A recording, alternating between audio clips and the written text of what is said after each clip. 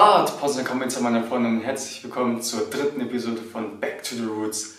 In der heutigen Episode möchte ich euch die wunderbare Pflanze, die Süßlupine, vorstellen. Im Allgemeinen gehört die Lupine zur botanischen Familie der Schmetterlingsblütlern und wird auch den Arten der Leguminosen untergeordnet. Dazu zählen unter anderem auch Bohnen und Erbsen. Sie wird auch Wolfs- oder Feigsbohne genannt und wurde schon vor 3000 Jahren im Mittelmeerraum verwendet. Das Problem dabei ist, dass sie nicht sehr bekömmlich ist aufgrund der bitter schmeckenden Alkaloide. Das sind stickstoffhaltige, alkalische und bitter schmeckende Pflanzeninhaltsstoffe, die auf das zentrale Nervensystem von Tieren und Menschen wirken und viele von ihnen auch sehr giftig sind. Sie dienen sozusagen als Fraßschutz der Pflanze. Darunter zählen zum Beispiel auch ähm, Solanin von Nachtschattengewächsen wie in Kartoffeln und Tomaten sowie auch Nikotin und Koffein. Allerdings ist es Züchtern gelungen, die Süßlupine ähm, aus der Lupine heraus zu züchten. Das heißt, das ist einfach eine Art, die, die weniger bitter schmeckende Alkaloide in sich äh, trägt und dadurch auch bekömmlicher ist. Aufgrund dieser Züchtungen ist die Süßlupine eine super Alternative zur herkömmlichen Sojabohne. Sie ist eine basische Eiweißquelle und hat weniger harnsäurebildende Purine. Das ist eine Substanz, die sich in den Gelenken ablegt und unter anderem Gicht verursachen kann. Außerdem ist die Süßlupine eine wirkliche Nährstoffbombe. Sie hat ähm, im großen Umfang Mineralien wie zum Beispiel Magnesium, Zink, Calcium, Mangan, Kupfer, Selen und das hochwertige bioverfügbare Eisen. Zudem weist sie auch weitere Vitamine wie Vitamin K, verschiedene Vitamin B-Komplexe, ähm, Vitamin E auf, sowie alle essentiellen Aminosäuren wie zum Beispiel Lysin und Tryptophan.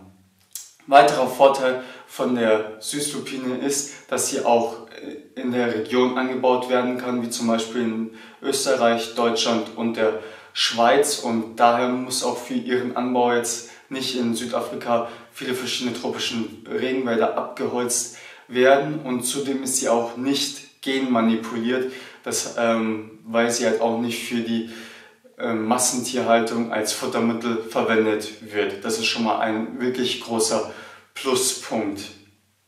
Eine weitere positive Eigenschaft der Süßlupine ist, dass sie auf stickstoffarmen und kargen Böden gedeiht.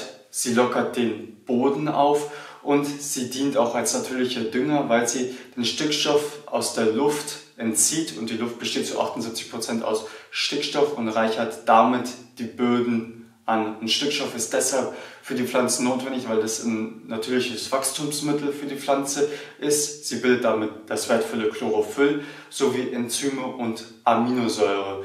Das heißt, man kann einfach die Süßlupine anbauen und damit für einen natürlichen Dünger für folgende Beete und Äcker sorgen.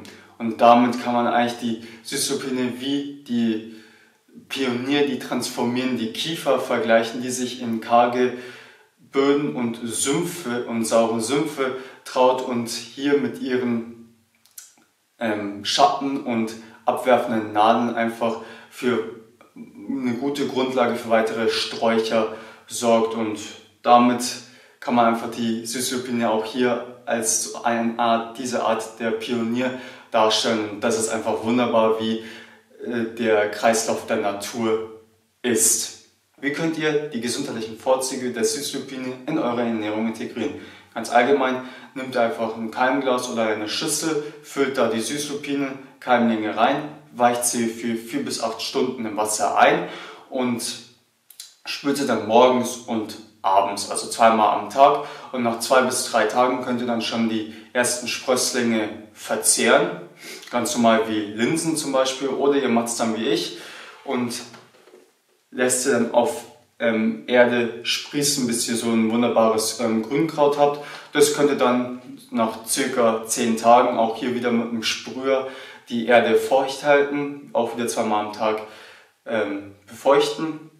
Und die könnt ihr dann zum Beispiel entsaften oder auch einfach in euren Salat mit dazugeben. In diesem Sinne hoffe ich, euch hat wieder die Episode gefallen und ich konnte euch wieder eine Inspiration bieten, euer eigener Landwirt zu sein. In diesem Sinne, spasiba sa prosmotrit und wir sehen uns in der nächsten Episode von Back to the Roots. Bis dahin, ciao.